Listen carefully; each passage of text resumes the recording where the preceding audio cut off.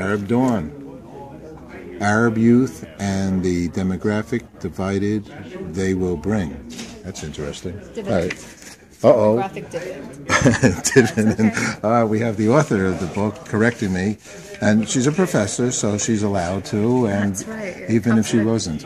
It comes with the territory. It comes with the territory, and did you see how nice she was when she did that? She wasn't. Uh, what do you mean you're saying the name of my book improperly? Okay, the Arab youth and the demographic dividend they will bring. Okay, hi, this is Paul Sakis, Good News Planet. I'm here at the U.S. Arab Business Summit 2015. I'm with Dr. Bessma Momani. Yay! And the reason why I'm so excited to have an opportunity to speak with you uh, is that on a panel that was built around the concept of media and media, the evolution from traditional to social, and the continued global impact. Track one, room, Lincoln Hall, second floor here, where the Union uh, building here in Manhattan. There's a lot of stuff going on. Union League, gorgeous place. There's so many things happening, especially with media. Now, is media going to help us or not going to help us? What do you think overall? Can it help us? It can. I mean, I think it's a great equalizer in many ways. I mean, when you think about the concentration of media, we suddenly have citizen journalists who are able to effectively get the voices of many who have never made it on mainstream media. So I think it's a wonderful opportunity and, and thing. Um, but we're no, there's no shortage of information. We're now at the phase where we're inundated with information. Um, we need no, we need more curators. In fact, if we're talking about uh, the role of social media, it's a wonderful tool, but there's a lot of noise, and how to filter out that noise is going to be, I think, the next big thing in, in terms of how do you find the trusted information um, that you know not only is verifiable, but more importantly, isn't just junk. Because we're, we are going to be faced with more options. We, we have more TV channels, more radio stations, more internet sites, too much information coming our way, and a way to organize that is going to be an important part of making sure that we get what we want in terms of the information, but also to ensure that the junk is filtered out. You know, and and with that in mind, and that the right information gets to the uh, world and to the consumer, um, you know, it was the comments that you initially started uh, this uh, panel with. You were the first speaker, and you shared very important information. I felt uh, for our audience, and I think for the world. Um, and that was really the, since this is an Arab uh, a uh, summit, and the word ISIL came up, not ISIS, ISIL, and you had mentioned a number, and numbers always make people say, "What is? What do you mean number?" So, and you had said something like fifty. There are fifty thousand or so ISIL uh, members, or uh, uh, and so. And I remember one time when I interviewed like one of the heads of CNN uh, years ago, and he said, "You know, there's only hundred thousand Taliban."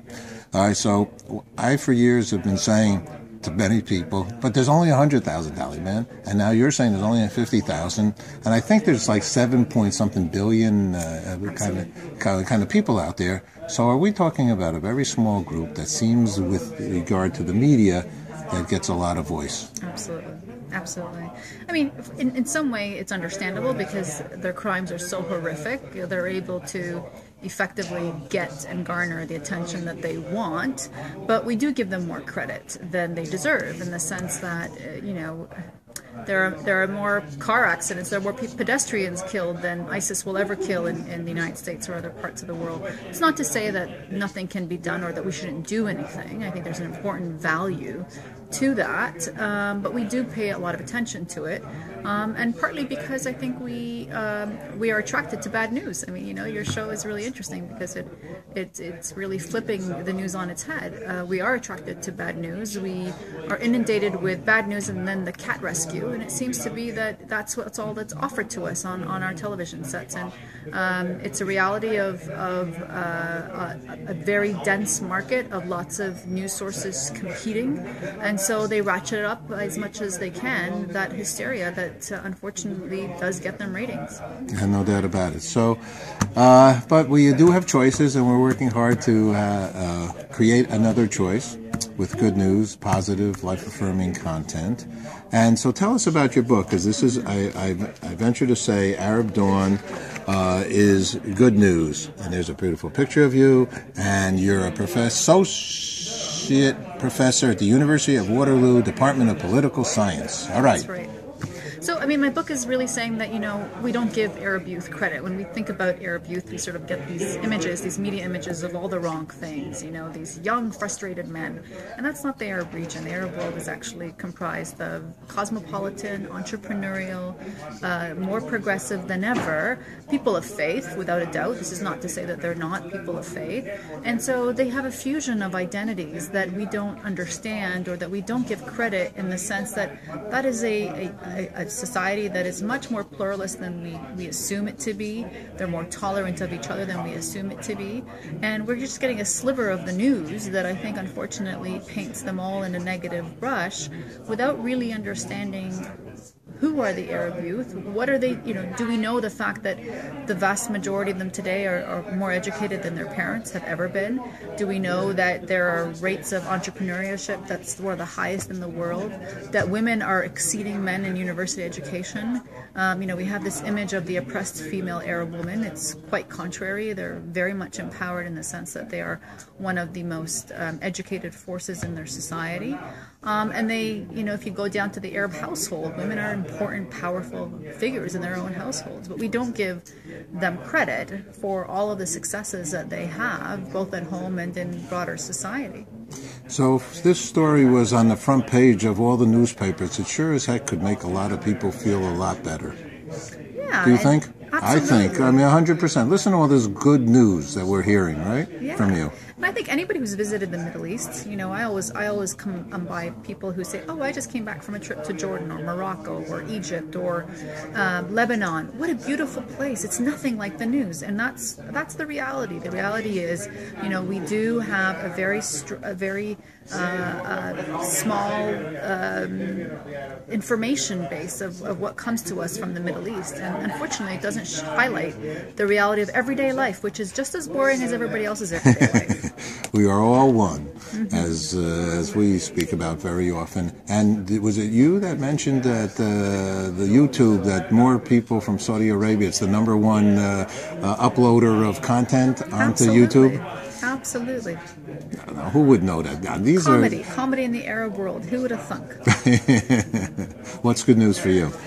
Good news for me is um, just the reality that uh, people that live very boring lives and um, their mundane existence is something to be celebrated. And there's a lot of people living boring lives out there. I'm crazy about you. You really got it together in my in my way of thinking that life is good and people are good and kind and loving and caring and uh, not looking to punch anybody in the nose. Now, with that in mind, we're very involved with world peace. Yeah. We create peace events and have been for uh, since 2002, uh, uh, per the United Nations International Day of Peace. 193 countries agreed to a Day of Peace.